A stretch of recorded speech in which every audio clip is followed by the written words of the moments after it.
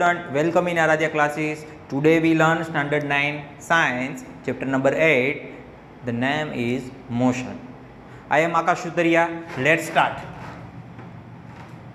आज के लेक्चर में हम जो पढ़ने वाला है, वो uniform motion non uniform motion और दूसरा हमारा टॉपिक रहेगा measuring the rate of motion तो फ़र्स्ट लेक्चर में क्या देखा था हमने?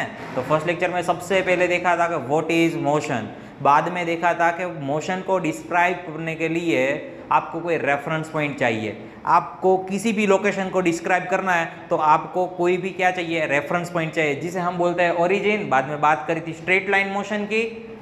मोशन भी कई टाइप्स के होते हैं दोस्तों। स्ट्रेट लाइन मोशन होते हैं, कोई सर्कुलर पाथ मोशन होते हैं मतलब के सर्कल पे घूमते हैं। कोई भी ऑब्जेक्ट होता है, वो सर्कुलर कोई स्ट्रेट लाइन होते हैं मतलब के सीधे रास्ते पे मोशन करते हैं।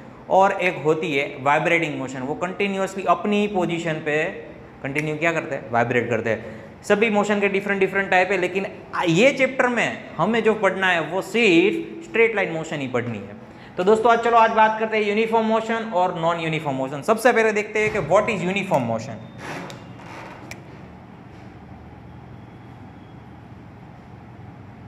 uniform motion तो यूनिफॉर्म मोशन वो होती है equal distance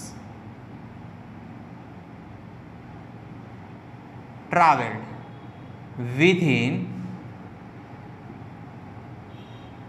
equal time interval time के इंटरवल के बीच जो भी हमारी मोशन होती है, वो इक्वली होती है। जो ट्रैवल डिस्टेंस होता है, वो इक्वली होता है। दो मिनट आप रुको, आप एग्जांपल से इजीली ये बात क्लियर कर सकेंगे। और नॉन यूनिफॉर्म मोशन क्या है? What is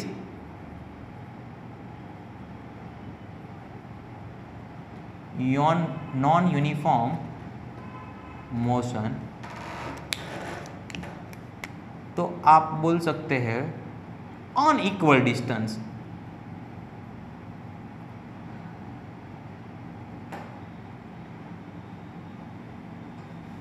traveled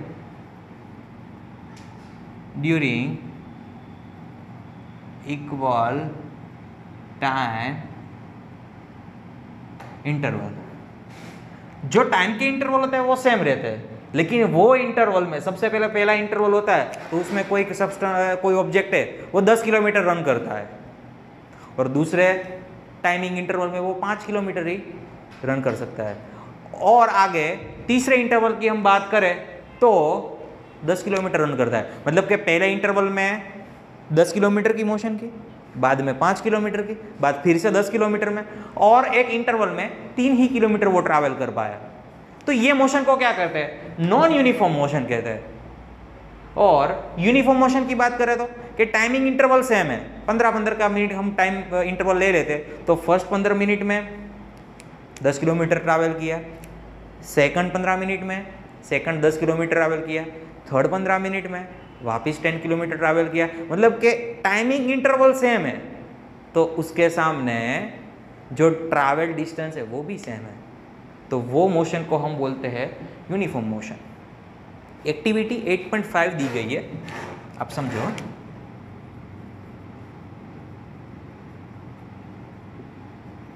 आपको क्या दिया है? एक ऑब्जेक्ट ए दिया है और बी दिया है. और टाइमिंग दिया है. तो distance travelled by A A और दो. ये दो ऑब्जेक्ट है और वो इक्वल टाइम इंटरवल में कितना डिस्टेंस ट्रैवल करते हैं, उनका एक डेटा चार्ट दिया हुआ है। एक्टिविटी नंबर 8.5 आप बुक में देख सकते हो। टाइमिंग इंटरवल की बात करें हम तो सबसे पहले 9:30 पोजीशन पे हमारा ए ऑब्जेक्ट 10 मीटर ट्रैवल किया था। हमारा बी ऑब्जेक्ट ने 12 मीटर ट्रैवल किया। 9:30 से आप 9:45 पे आओ। मतलब इंटरवल कितने का हुआ? पंद्रह मिनट का। नाइन फोर्टी से आप टेन पे आओ। इंटरवल कितना हुआ? पंद्रह मिनट का।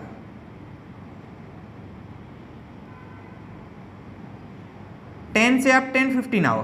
टाइमिंग इंटरवल कितना हुआ? Fifteen minute. हाँ हमारा जो टाइमिंग इंटरवल है, वो सेम है। Equal time interval equal time interval uniform motion हो या नॉन यूनिफॉर्म मोशन है? दोनों मोशन में हमारा जो टाइम इंटरवल है, वो सेम है। तो चलो, आप ये ए ऑब्जेक्ट की मोशन की बात करें तो ए ऑब्जेक्ट 930 पे 10 मीटर ट्रैवल किया था और 945 से 20 मीटर ट्रैवल करता है। मतलब वो कितना ट्रैवल करता है? 10 मीटर। और 15 मिनट का इंटरवल का बात करें तो 940 से 10 तक। तो फिर 20 मीटर से कहाँ आता है? 30 पे। तो वापिस वो 10 मीटर ट्रैवल करता है। अब 30 से 40 मतलब 10 से 10 15 में तो 15 मिनट में और कितना ट्रैवल करता है? 10 मीटर। मतलब हमारा टाइम इंटरवल सेम है ट्रैवल डिस्टेंस सेम है, दोनों इक्वल है तो ये ऑब्जेक्ट ए की जो मोशन है, वो मोशन को हम बोलते हैं यूनिफॉर्म मोशन लेकिन यूनिफॉर्म मोशन हमारे आसपास बहुत कम देखनी होती है वो बहुत कम देखी हो जाती है। चलो, अब बी की बात करें। तो हमारा B object at nine thirty AM twelve metre पे था। At nine forty five, nineteen metre पे। तो कितना ट्रैवल किया? है सात मीटर। बाद? 940 से 10 है मतलब कि इंटरवल से में बाकी नेक्स्ट जो 15 मिनट है तो उसमें कितना ट्रैवल किया? 19 मीटर से 23 मीटर मतलब 4 मीटर ट्रैवल किया। चलो नेक्स्ट इंटरवल में देखते हैं। तो नेक्स्ट इंटरवल आता है 10 से 10 15 तो 10 पे वो था 23 मीटर पे और 10 15 पे वो आता है 35 मीटर पे. तब वो कितना ट्रैवल करता है? 12 मीटर तो आप देख सकते हो कि हमारा टाइमिंग इंटरवल 15 15 मिनट का है. तो फ़र्स्ट 15 मिनट में वो 7 मीटर ट्रैवल करता है. नेक्स्ट 15 मिनट में वो 4 मीटर ट्रैवल करता है. नेक्स्ट 15 मिनट में वो 12 मीटर ट्रैवल करता है। मतलब कि जो अपना डिस्टेंस ट्रैवल करता है ना, वो सेम नहीं है, वो इक्वल नहीं है। सेवन फोर ट्वेल्व मतलब कि on equal distance travel during equal time interval तो इसका एग्ज़ाम्पल देख सकते हैं कि नॉन यूनिफॉर्म मोशन कहाँ देखी जाती है? तो एज फॉर एग्ज़ाम्पल की बात करें हम कार passing through क्राउड कोई बड़ा सा क्राउड है और क्राउड में से कार को क्या करना है? पास करना है। तो जब कार क्राउड में मोशन करेगी, तब क्या करेगी? धीरे धीरे धीरे धीरे, कहीं कबार तो स्टॉप भी करना पड़ेगा। धीरे धीरे आगे बढ़ेगी, कई बार स्टॉप भी करना पड़ेगा। मोशन ज़ीरो हो जाएगी स्टेशनरी में आ जाएगी। और जैसे जैसे जगह मिलती है, वैसे कार क्या करती है? ट्रैवल करती है। और जैसे क्राउड अक्रॉस कर जाती है, तब कार की स्पीड क्या हो जाती है? इंक्रीज हो जाती है। मतलब car passing through a crowd which is example of non uniform motion next बात करते हैं measuring the rate of motion आप क्रिकेट मैच देखते होगे तो क्रिकेट मैच में जब कोई भी बॉलर बॉल को थ्रो करता है, तब आपने टीवी पे देखा होगा, नीचे जो पट्टी आती है ना तो पट्टी में बॉल की स्पीड देखी जाती है। जैसे 120 मिटी 120 kilometre per hour 140 kilometre per hour उस तरह से। आप कोई रोड पे जाते हो और रोड पे एक लिमिट होती है कि आपको ये रोड पे फिक्स इतनी स्पीड पे कार चलानी है। तो वहाँ बोर्ड पे लिखा होता है 40 kilometre per our 50 kilometre per our हाँ तो वो वो क्या माप है? तो वो ये माप के तो आपको 40 किलोमीटर पर आवर से ही गाड़ी चलानी है। 50 किलोमीटर पर आवर की स्पीड से ही गाड़ी अपनी चलानी है। मतलब सेम डिस्टेंस को ट्रैवल करने के लिए ऑब्जेक्ट चेंज हो गए तो उनकी स्पीड भी चेंज होगी। उनकी मोशन की जो डायरेक्शन है, वो भी चेंज होगी। अगर आप मैं, आपको मैं बात करूँ कि ये कोई 500 मीटर का रोड है। और आपके पास एक बॉल है और एक कार है। तो आप सोचो कि ये रोड को पास करने के लिए कौन सबसे ज़्यादा स्पीड पे जा सकता है? तो सिंपली जवाब है बॉल। बॉल को आप जितने ज़ोर से थ्रो करोगे तो बॉल की स्पीड इनिशियली इतनी फास्ट होगी तो वो इजीली 500 मीटर का जो रोड होगा, वो क्रॉस कर देगा। लेकिन कार की बात करें तो तो कार की, कार क्रॉस तो कर सकती है, वो क्रॉस तो कर सकती है, लेकिन बॉल जैसी स्पीड पे नहीं। मतलब कि ऑब्जेक्ट चेंज होगा तो उनकी स्पीड क्या होगी? चेंज होगी। जब क्रिकेटर अपने हाथ से बॉल को छोड़ता है, तब उनकी स्पीड होती है 120 kilometre per hour 140 kilometre per hour ball की स्पीड और आप कोई हाईवे पे जाते हो, तब आपके कार की स्पीड होती है 40 kilometre per our 50 kilometre per hour तो आप समझ सकते हो कि हमारे आसपास जो भी ऑब्जेक्ट है तो वो सभी ऑब्जेक्ट की स्पीड अलग अलग होगी। तो मैं स्पीड स्पीड बोलता हूँ, लेकिन वॉट इज़ स्पीड तो चलो देखते हैं आज वॉट इज़ स्पीड स्पीड क्या है?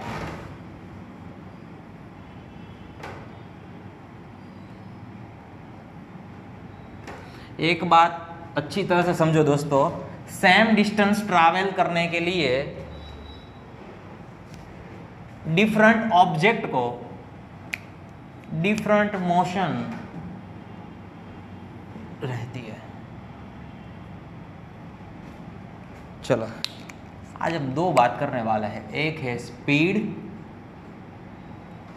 और एक है velocity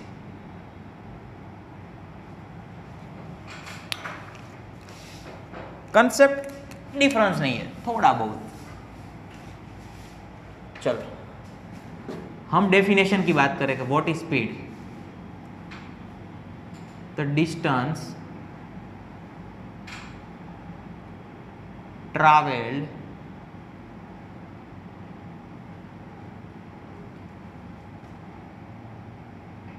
by object per unit time मतलब speed is equal to distance travel and ये डिस्टेंस को ट्रैवल करने में जो टाइम लगता है वो मतलब टेक ऑन टाइम और वेलोसिटी की बात करें तो definition displacement per unit time तो उनका जो इक्वेशन क्या होगा? तो उनका इक्वेशन ये होगा velocity is equal to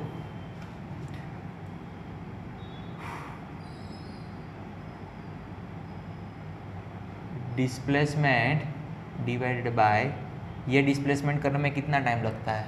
तो टेक ऑन टाइम दोस्तों, आप फ़र्क समझो। स्पीड में क्या था? ट्रैवल डिस्टेंस था। वेलोसिटी में क्या आया? डिस्प्लेसमेंट आया। डिस्प्लेसमेंट और ट्रैवल डिस्टेंस क्या है? तो फ़र्स्ट लेक्चर में बात की। नेक्स्ट देखते हैं। ये स्पीड है ना? वो स्केलर क्वांटिटी है।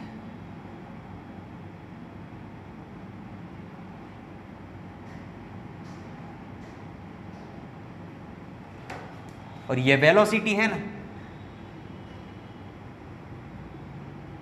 वेलोसिटी इज़ वेक्टर क्वांटिटी मतलब स्पीड को डिस्क्राइब करने के लिए सिर्फ़ वैल्यू ही चाहिए। लेकिन वेलोसिटी को डिस्क्राइब करने के लिए वैल्यू तो चाहिए दोस्तों, लेकिन आपको क्या चाहिए? डायरेक्शन भी चाहिए। आप जितना भी डिस्टेंस ट्रैवल करते हो तो एक वैल्यू होती है पर्टिकुलर वैल्यू होती है कि 100 किलोमीटर 150 किलोमीटर 200 किलोमीटर, वो आपका टोटल ट्रैवल डिस्टेंस मतलब वैल्यू की ज़रूरत होती है ट्रैवल डिस्टेंस को मेज़र करने के लिए। लेकिन डिस्प्लेसमेंट को मेज़र करने के लिए आपको पर्टिकुलर क्या चाहिए? डिरेक्शन चाहिए, साथ में वैल्यू भी चाहिए। तो जो क्वांटिटी के पास वैल्यू और डिरेक्शन होती है, इसे बोलते हैं वेक्टर क्वांटिटी और जो क्वांटिटी के पास सिंपल वैल्यू ही होती है तो इसे हम बोलते हैं स्केलर क्वांटिटी नेक्स्ट बात करें यूनिट की. यूनिट दोनों का सेम है. वो इजीली याद रह जाएगा. तो सबसे पहला ऐसा यूनिट मीटर प्रति सेकंड वेलोसिटी की बात करें तो यूनिट इनका सेम है. ऐसा ही मीटर प्रति सेकंड और भी एक है दोस्तों यूनिट जिसे बोलते हैं किलोमीटर पर आवर नेक्स्ट है मीटर प्रति सेकंड मीटर पर सेकंड तो उसका भी सेम है वेलोसिटी का भी. Kilometre per hour metre per second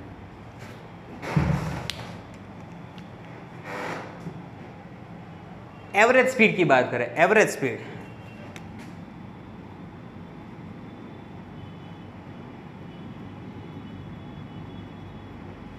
क्यों एवरेज स्पीड? हमें फाइंड आउट करनी पड़ती है। आप समझो दोस्तों कि हमारे जो आसपास सराउंडिंग में जो भी मोशन देखी जाती है, वो सभी मोशन मोस्टली क्या होती है? नॉन यूनिफॉर्म होती है। तो नॉन यूनिफॉर्म मोशन मतलब कि इक्वल इंटरवल में जो डिस्टेंस ट्रैवल होता है, वो अनइक्वल होता है। तो ये मोशन को डिस्क्राइब करने के लिए एवरेज स्पीड है। तो एवरेज स्पीड सिंपल ये से ढूंढी जाती है फाइंड आउट कर जाती है कि आपको सबसे पहले क्या लेना पड़ेगा? टोटल आपने कितना डिस्टेंस ट्रैवल किया है? टोटल डिस्टेंस ट्रैवल्ड और ये डिस्टेंस को आपने कितने टाइम में फिनिश किया? तो लिख दो टेक ऑन टाइम चलो, आप अहमदाबाद में हो। अच्छी तरह से एवरेज स्पीड को समझना है।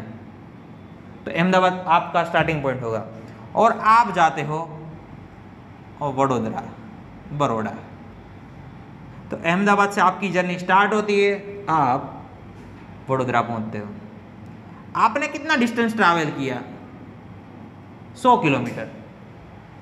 टोटल 100 किलोमीटर ट्रैवल किया। लेकिन ये 100 हंड्रेड किलोमीटर ट्रैवल करने में आपने दो इंटरवल लगाए। चलो, ये बात को ऐसे समझ सकते हैं कि आपने पहले एक घंटे में फ़र्स्ट आवर में आपने 80 किलोमीटर ट्रैवल किया। नेक्स्ट वन आवर में आपने 20 किलोमीटर ट्रैवल किया। टोटल कितना ट्रैवल किया? 100 किलोमीटर। कितने घंटे लगाए? दो घंटे। मतलब एवरेज स्पीड आपकी कितनी हुई? Total travel distance 100 kilometre. और 100 किलोमीटर डिस्टेंस ट्रैवल करने के लिए टाइम लगा 2 किलोमीटर। 100 डिवाइडेड बाय 2 आंसर आएगा 25 kilometre per hour sorry 50 kilometre. My mistake year 50 kilometre. तो आपकी एवरेज स्पीड क्या होगी? 50 किलोमीटर. समझ सकते हो? आप अहमदाबाद पे हो, बड़ोदरा जाते हो फ़र्स्ट वन हावर में आप एसी 80 किलोमीटर कवर करते हो. नेक्स्ट फ़र्स्ट हावर में आप 20 किलोमीटर कवर करते हो। तो आपने डिस्टेंस कितना ट्रैवल किया? 100 किलोमीटर। तो 100 किलोमीटर ट्रैवल करने में आपने कितने टाइम लगाए? तो दो हवर तो यहाँ पे हवर आएगा। सिंपल तो 100 डिवाइडेड बाई टू तो आपका आंसर कितना मिलेगा? 50 तो आपकी एवरेज स्पीड हुई 50 kilometre per hour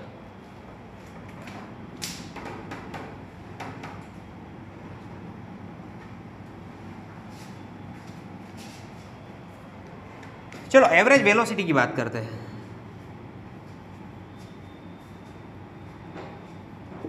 what is average velocity तो एवरेज वेलोसिटी क्यों निकालनी पड़ी? क्योंकि कुछ मोशन ऐसे होते हैं कि उनकी वेलोसिटी कंटिन्यूसली क्या करती है? मूव करती है।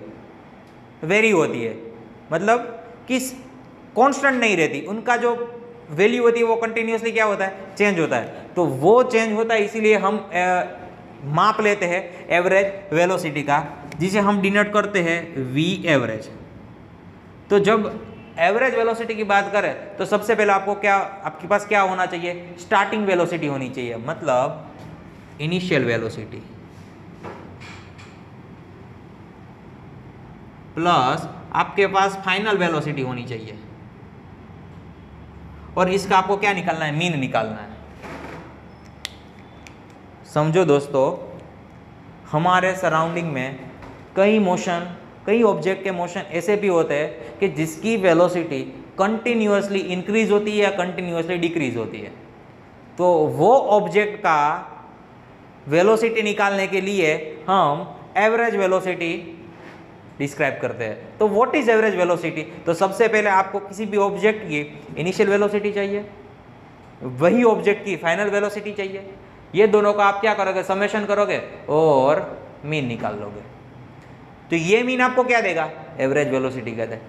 तो दोस्तों देखो एवरेज स्पीड का फॉर्मूला क्या है? Total distance travel for taken time average velocity क्या है? Initial velocity plus final velocity divided by two मतलब कि एवरेज और एवरेज वेलोसिटी निकालने के लिए आपको इनिशियल और फाइनल वेलोसिटी का मीन निकाल लो तो आपको सिंपली मिल जाएगा। हाँ तो ये बात थी स्पीड और वेलोसिटी के रिलेटेड दोस्तों, ये हम स्पीड वेलोसिटी क्यों स्टडी करते हैं? तो ये वेलोसिटी और स्पीड के स्टडी के हिसाब से आप किसी भी किसी भी डिस्टेंस को भी फाइंड आउट कर सकते हो। चलो ये है आपका घर। और आपके घर से आप पैदल चल के आप कहाँ पे जाते हो? अपनी स्कूल पे जाते हो। तो ये है आपका स्कूल। आप घर से निकलते हो, स्कूल पे जाते हो और अपना टाइम नोट करते हो कि आपको घर से स्कूल जाने में कितना टाइम लगता है? तो time taken for home to school तो time is equal to 15 minute लगा दो, चलो 15 मिनट लगता है। और आपकी पैदल चलने की speed four kilometre per hour है। और आपको ये मेज़र करना है कि होम आपका जो हाउस है हाउस है ये स्कूल का। डिस्टेंस क्या है? तो आप क्या करोगे? सीधा फॉर्मूला लगाओगे? Speed is equal to travelled distance divided by time, taken time. लेकिन समझो, SI unit metre per metre per second है ना? तो मीटर पर सेकंड में ये जब स्पीड होती है ना तो उसको क्या करना पड़ता है? कन्वर्ट करना पड़ता है। तो टाइम 15 मिनट है। तो t is equal to fifteen minute मतलब पंद्रह गुणिया, आप सिक्सटी फिफ्टीन मल्टीप्लाई में आपको सिक्सटी करना पड़ेगा। तो आपको वो जो आंसर मिलेगा, वो किसमें मिलेगा? सेकंड में मिलेगा। और आपकी जो स्पीड है, वो फोर किलोमीटर पर आवर है। ध्यान से देखना।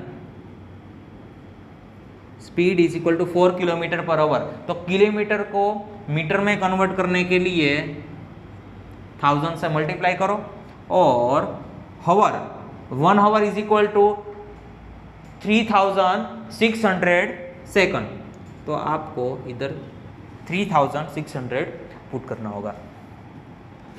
ये दोनों वैल्यू है ना, ये कौन सी स्पीड में आएगी? ये मीटर पर सेकंड हो गई और ये सेकंड हो गया। तो ये सारी वैल्यू उठा के इधर रख दो। तो ट्रैवल डिस्टेंस क्या हुआ? तो वो हमें फाइंड आउट करना है। टाइम क्या है? तो टाइम है हमारे पास 15 मल्टीप्लाई बाय 60 सेकंड स्पीड क्या है हमारी? तो 4 multiply by thousand divided by 3600 तो ये ऊपर चला जाएगा। तो सिंपली आपको मिलेगा four multiply by thousand fifteen multiply by sixteen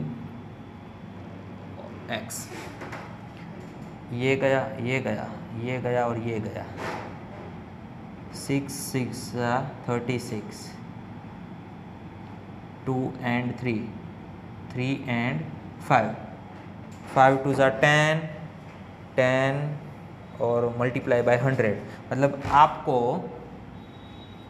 x मिलेगा वन थाउज़ेंड यूनिट होगा मीटर तो आपके हाउस से आपकी जो स्कूल है, उनका डिस्टेंस क्या हुआ? हंड्रेड एंड मीटर तो आप समझो कि आपको आपके घर से स्कूल पहुँचने में पंद्रह मिनट लगते हैं मतलब कि आपके घर से आपके स्कूल का डिस्टेंस कितना हुआ? हंड्रेड मीटर तो वो कैसे फाइंड हुआ? तो वो हमने स्पीड का फॉर्मूला लगा के।